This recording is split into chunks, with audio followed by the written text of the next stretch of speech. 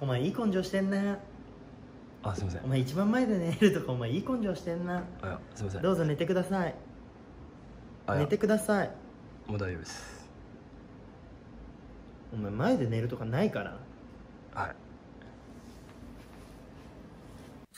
女子のスカートの短さに憤慨する女の担任荒川先生。直せ今。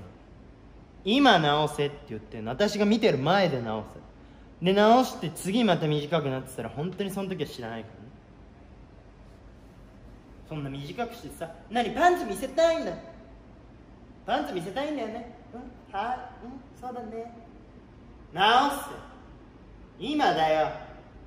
お前本当いい加減にしろ。よ